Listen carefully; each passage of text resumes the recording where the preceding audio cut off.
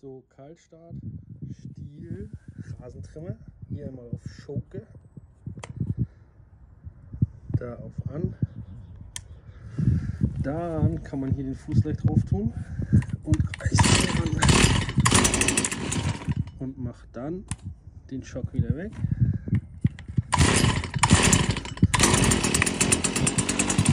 Bis das Gerät funktioniert.